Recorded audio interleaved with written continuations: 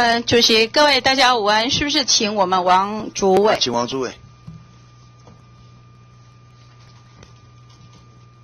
林委员好，主委，大家今天非常关心你的去留，但是我要讲，王如选不配我们送你花，而且这五年来，王如选在劳委会的历史定位，如果马英九叫无能，那么王如选所执政之下的劳委会叫做血汗劳委会。我为什么这么讲呢？我我把你任期这样走了一圈，我请你来回顾一下。第一个，当二零零九年金融海啸来的时候，所有的这个经济这么不景气的状况里面，政府挺银行，编列特别预算让他们去贷款，公教编列特别基金让他们去贷款，光是劳工的纾困贷款，你没有争取任何编列特别的预算。而是直接修法，竟然还修法，把劳工的老年给付可以直接修法，未来借的钱纾困基金直接从这个钱以后直接扣除，这个是拿劳工自己的钱，然后拿拿来花自己花预预支自己的老年给付，你有什么权利可以叫做劳工的守护者？第一个，公文报告劳保纾困贷款是长期来一直都有在办理。第二个，我要讲说你修法。你修法直接从老年给付给扣款，这是多么恶质的一件事情。那是因为一直在跟他做诉讼，我们避免诉讼。你便宜行事，可能不知道便宜行事。你让劳工在今天没得选择、走投无路的时候，为什么每个人都特别预算的时候，你就是直接修法，直接扣掉老年给付？好，我今天不谈这个。第二个，当无薪假的政策执行的时候。欧洲是以分工时分享，也没有所谓的无薪假，人家还强调工时分享，结果你们对无薪假你们噤声不语。当你讲二二 K，今天大家众生谴责二二 K 的时候，你说有。就不错了，年轻人还要求什么？你你太夸张了。我今天讲的都不夸张，而且都是事实。好，我的语气绝对。我今天还要再来讲，今天不只是这样子，绝对不可能用这样的语气在讲话，不是这样的。当当劳工的处境这么困顿的时候，大量的派遣劳工在这几年里面上升到上百万，不包括清洁业，不包括主席是不是请主委？我还没请他讲话。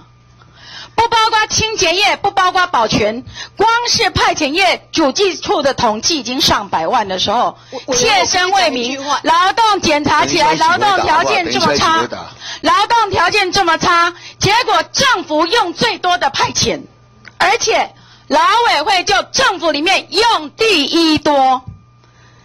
如果说派遣是一个被剥削的行业，那么带头用不打紧，劳委会光是职训局里面。哈，咨询局里面一眼望去，八成是派遣劳工。明天的失业者在帮今天的失业者找工作，这是王如选主政之下的劳委会。我可以回答吗？我我没有，我今天要跟你讲，我这个都是你任内的作为。你真的误会。我没有一件事情是乱讲的。我要再讲。委员，你真的误会了。我们在讲劳退，我们今天讲荣电华龙案，好，荣电的这个歇业，华龙的官场。你说你没有办法，没有错，你就是没有办法。你就是不处理，说你不是仙女，不是这样讲。我今天要讲，当你没办法的时候，劳工团体提出一个要求，委员要求劳基法二十八条，把基建工资的垫偿扩大范围到资遣费，而且要扩大到退休金。所谓的垫偿费率从万分之十。法律再放宽到万分之十五，结果你们连谈都不谈。第一个，第二个，正本清源。现在血汗钱没了，棺材本没有了，薪水要不到，资遣费要不到的时候，我要请教你，今天的劳退救治没提拨，你任内对于劳退救治退休金没有提拨，还有数百万的劳工，提拨率只有一成的状况里面。你做了什么？委员呢？误会了，误会了。你什么都没做，我这件事情有误会你吗？有，来，我一个一个。你做了什么？我一个跟跟你。你做了什么？我一个跟跟你回答。我今天要讲说，主委，我可以回答吗？主委。你今天很在乎你的历史定位，我可以但我们今天都是公运团体，讲了再讲，说了再说。历史走来，今天你即便你想要再为自己捍卫你的清白，我认为你都不够资格。为什么？回答吗？就以人权律师起家，沽名钓誉，今天一个主委来做，外劳本劳不脱钩，看起来是多么的捍卫人权呐！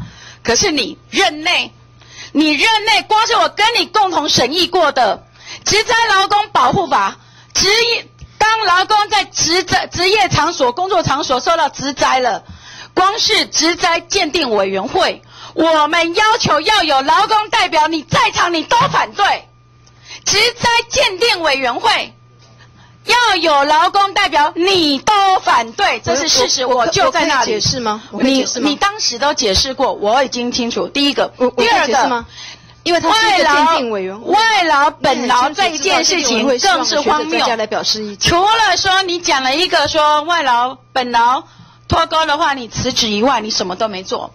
当我们的外籍渔工在劳动检查都没有。而且劳动条件这么差的状况里面，立委开了记者会，要求你们去做劳动检查。所有全台湾的渔会渔民通通都知道，劳委会来劳动检查，说这林秀芬、林淑芬叫来的。跟委员报告，林淑芬叫我们来检查，连自己去做劳动检查，自己去承担这个行政检查的大词你都没有。你的员工都是对全台湾的渔民说，林淑芬开记者会要求的，陈欧博委员在那里，他就曾经跟我说，哎，郎东恭喜立久，哎，跟委报告，劳委会自己呀，自私立场，荒废武功，不不行政不作为，不打紧，还要把责任推卸给立法委员。除此之外，同仁不会做这个事情。我们的外籍劳工，我们在讲家事服务法，家事服务法。这些外籍看护工的工作人权、劳动人权什么都没有，你就是宁愿搁置，做了一半，做了一半，你做了一半，完全没有。我要讲派遣劳工这么严重，完全没有。你对派遣劳工定过什么法令？立过什么规定？有过什么样的？有。法制化的保护有，除了加强劳动检查之外，不止跟委员报告。你的法律在哪里？每一件我都会跟你。你的法案在哪里？你每一件我都会跟你今天我要告诉你，王如选五年以人权律师闻名起家，他不是一个人权的主委，他是一个劳工剥削压榨劳工血汗著名的劳委会，而且罄竹难书。好，我今天在讲今天的 GDP 在保一为保一而战。今天各大财团、各大企业，他们在获利率在下降的同时，他们的救治没有提拨，很多人低报劳保，就是靠着这样一个成本节俭，在保住资方拥有世界竞争力，这是建立在。剥削劳工的血汗的基础上，我今天要讲劳委会，不管王如雪明天是留是走，今天的历史定位仍旧是血汗劳委会，而且是一个伤害人权的这个王如璇。我我可以解释吗？你你可以再继续解释，但我的咨询结束了，谢谢。对，那因为我们没有给我解释的机会，其实刚刚我们所说的都不是事实。